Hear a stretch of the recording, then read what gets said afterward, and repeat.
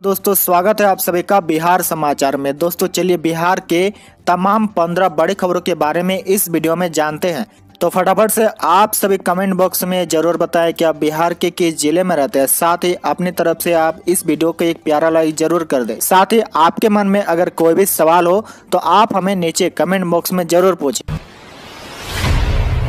आज की सबसे पहले खबर, बिहार में ठंड के दस्तक, घने कोहरे से जनजीवन पर असर, राज्य में गया सबसे ठंडा, पचवा से बड़ी कनकनी। जी हाँ बिहार में पिछले 24 घंटों में ठंड ने दस्तक दे दी है। घने कोहरे और दस्तक की समस्या के बीच कई शहरों का पारा सामान्य से काफ़ी नीचे आ गया। पछवा हवाओं के प्रभाव से दक्षिण बिहार के अधिकतम शहरों में ठंड के सिरन बढ़ी रही। वहीं उत्तर बिहार में अभी दक्षिणी पूर्वी हवाओं के प्रभाव होने से ठंडा थोड़ी कम है। हालाँकि चंपारण के इलाके में बुधवार को सुबह में घने कोहरे की स्थिति देखी गई। पटना और गया में भी सुबह में घना कोहरा रहा, लेकिन दिन निकलने के साथ मौसम साफ़ हो गया। हालाँकि जिन जगहों पर धूप निकली, वहाँ भी धूप में ज़्यादा गर्मी नहीं देखी गई।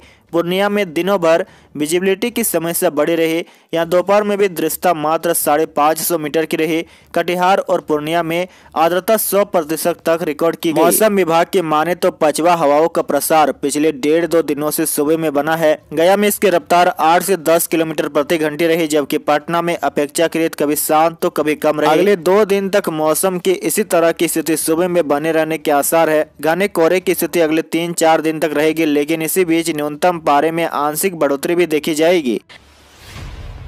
अगली बड़ी खबर, दिल्ली से आगे निकला मुजफ्फरपुर। जानिए तय मानक से कितनी ज़्यादा जहरीली है मुजफ्फरपुर की आबो हवा जी हाँ मुजफ्फरपुर में प्रदूषण स्तर विश्व स्वास्थ्य संगठन के वर्तमान मानक से 27 गुना अधिक है। दो माह पहले सितंबर में डब्ल्यूएचओ की ओर से नए मानक तय किए गए हैं। इसके मुताबिक 24 घंटे में 15 माइक्रो प्रति क्यूबिक मीटर 2.5 की मात्रा अधिकतम 15 होनी चाहिए।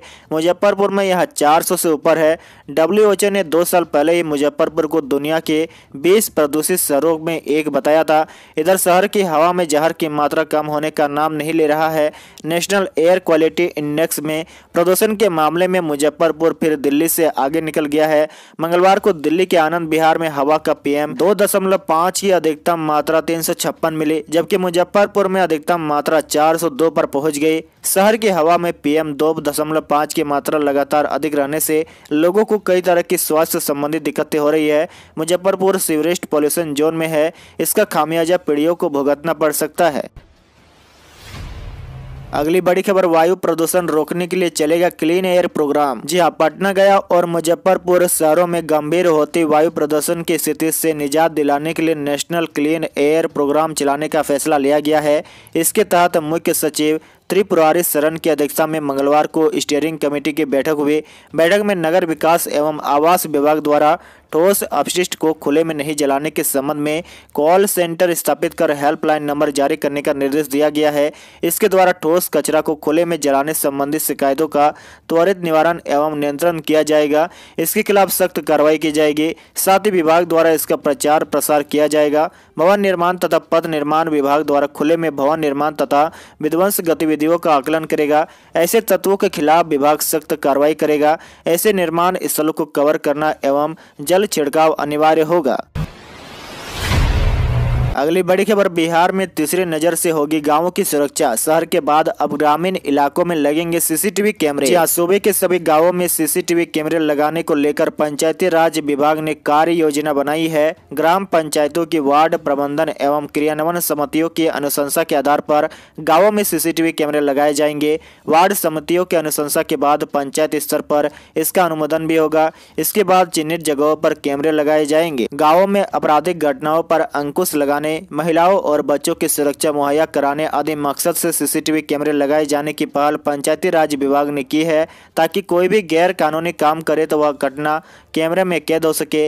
इससे दोषी की पहचान हो जाएगी। दूसरी तरफ़, कैमरे का भय भी ऐसे लोगों में होगा। विभाग ने अभी साफ़ किया कि सार्वजनिक स्थलों और सरकारी भवनों में सीसीटीवी कैमरे लगाए जाएँगे। बिजली के पोल पर ही यथासंभव कैमरे लगेंगे। हालाँकि विभाग ने अभी कहा कि विशेष परिस्थितियों में निजी मकान के बाहरी दीवार पर भी कैमरे लगाए जा सकेंगे सीखेंगे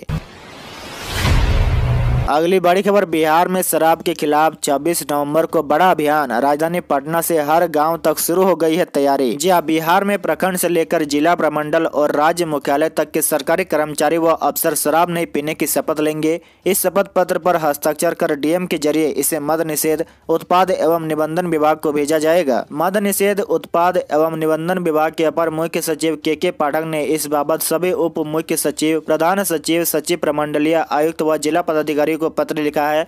26 नवंबर को नशा मुक्ति दिवस पर सभी कर्मी व अफसर मद निषेध से जोड़ शपथ लेंगे। के के पाठक ने अपने पत्र में शपथ कार्यक्रम और उसकी रिपोर्ट तैयार करने को लेकर आठ बिंदु स्पष्ट किए हैं।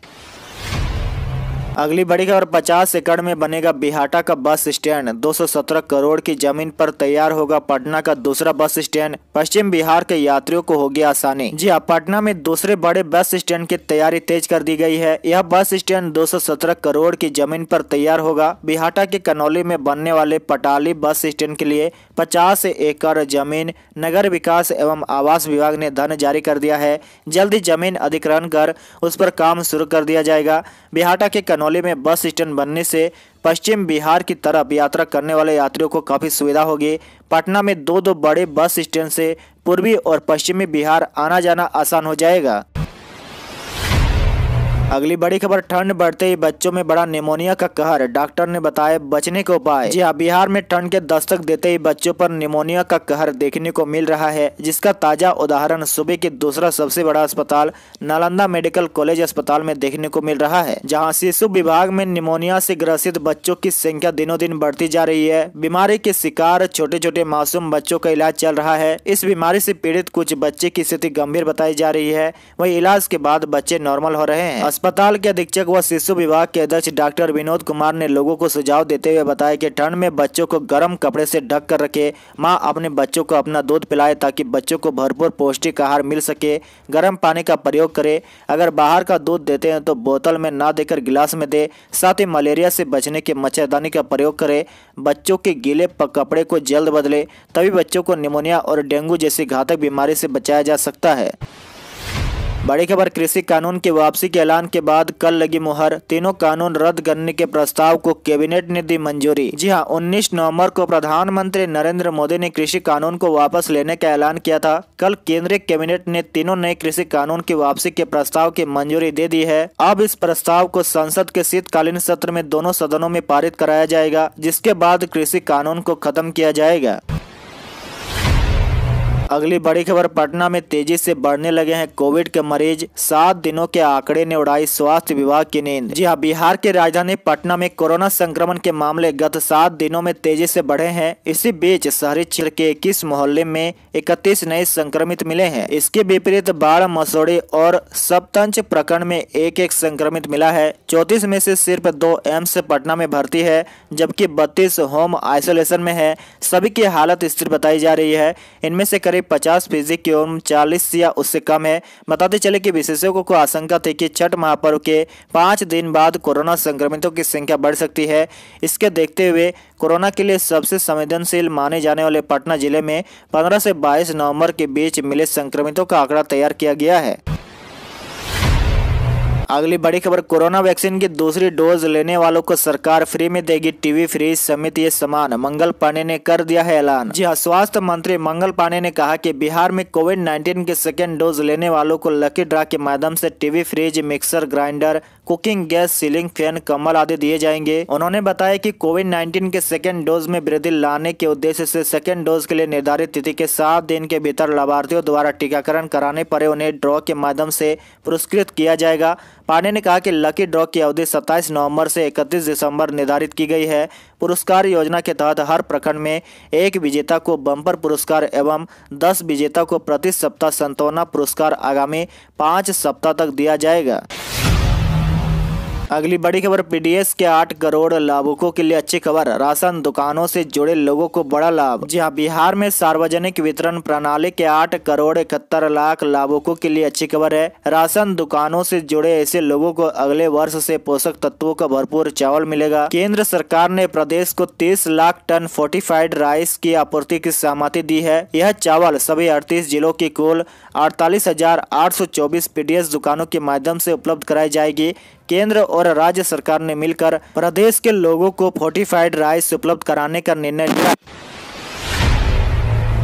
बड़ी खबर, कैबिनेट का बड़ा फैसला, बिहार में भी निजी वाहनों को बीएच सीरीज़ सुविधा 750 एंबुलेंस खरीदेगी नीतीश सरकार। जी हाँ बिहार में भी निजी वाहन मालिकों को बीएच सीरीज़, यानी भारत सीरीज़ की सुविधा दी जाएगी। इससे एक राज्य से दूसरे राज्य में स्थानांतरित होने वाले सरकारी और निजी क्षेत्र के पदाधिकारियों और कर्मचारियों को अपने निजी वाहनों के लिए अनापत्ति प्रमाण पत्र नहीं लेना होगा। मुख्यमंत्री नीतीश कुमार की अध्यक्षता में हुई राज्य कैबिनेट की बैठक में यह निर्णय लिया गया है। बैठक में कुल 22 प्रस्तावों को मंजूरी मिली है। इसके अलावा सूबे के हर प्रखंड में एडवांस लाइफ सपोर्ट एंबुलेंस की सुविधा होगी। इसको लेकर कैबिनेट ने 750 नए एंबुलेंस की खरीद की स्वीकृति दी है। इनमें पाँच एडवांस लाइफ सपोर्ट एंबुलेंस और 216 बेसिक लाइफ एंबुलेंस खरीदी जाएगी। इसके लिए छियानवे करोड़ बारह लाख की स्वीकृति भी कैबिनेट ने दी है। अगली बड़ी खबर, सभी इंजीनियरिंग और पॉलिटेक्निक में दो दो स्मार्ट क्लास की स्वीकृति। जी हाँ, राज्य के सभी राजकीय इंजीनियरिंग कॉलेजों और राजकीय पॉलिटेक्निक कॉलेज व महिला पॉलिटेक्निक कॉलेजों में दो दो स्मार्ट क्लास की स्थापना की मंजूरी कैबिनेट द्वारा दी गई है। अब राज्य के ऐसे संस्थानों में कुल एक स्मार्ट क्लास की स्थापना की जाएगी। इन सभी कॉलेजों के शैक्षणिक व प्रशासनिक भवन में इलेक्ट्रॉनिक नॉलेज नेटवर्क के तहत सौ एम इंटरनेट की कनेक्टिविटी व वाईफाई की स्थापना की जाएगी। स्थापना व रखरखाव के लिए उन्यासी दशमलव ग्यारह करोड़ की स्वीकृति भी दी गई है। अगली बड़ी खबर, ट्रेनों से स्पेशल टैग हटा तो भाड़े में 20 से 30 फ़ीसदी आई कमी। देश के 3110 ट्रेनों का किराया हुआ अपडेट। जी हाँ ट्रेनों से स्पेशल टैग हटने के बाद यात्री किराया में 20 से 30 प्रतिशत तक की कमी की गई है। सेकंड सीटिंग में जहाँ 10 से 20 रुपया कम हुए हैं, वहीं स्लीपर के किराए में भी सौ रुपये से अधिक की बचत होगी। एसी के किराया भी 300 से 400 रुपये तक कम हुआ है। देश भर के 3110 ट्रेनों अब पहले की तरह किराया लगेगा। ट्रेनों को पुराने नंबर और पहले से निर्धारित किराए पर चलाने के लिए 14 से 21 नवंबर तक कंप्यूटर में सिस्टम को अपडेट किया गया है। और अंत की बड़ी खबर, आमिर अंबानी को लगा झटका। गौतम अडानी ने मुकेश अंबानी को पीछे छोड़ा। बने एशिया के सबसे अमीर बिजनेसमैन। जी हाँ अडानी ग्रुप के चेयरमैन गौतम अडानी एशिया के सबसे अमीर बिजनेसमैन बन गए हैं। उन्होंने नेटवर्क के मामले में मुकेश अंबानी को पीछे छोड़ दिया है। यह उपलब्धि गौतम अडानी ने पहली बार हासिल की है। गौतम अडानी की संपत्ति इस साल जनवरी से अब तक पचपन अरब डॉलर बढ़ी है, जबकि मुकेश अंबानी की संपत्ति केवल चौदह दशमलव तीन अरब डॉलर बढ़ी है। आज के लिए आपका सवाल बताए कि बिहार में नीतीश सरकार के 16 साल पूरे होने पर आप सरकार को किन किन योजनाओं के लिए बधाई देना चाहेंगे? इसका जवाब आप हमें नीचे कमेंट करके ज़रूर बताएँ।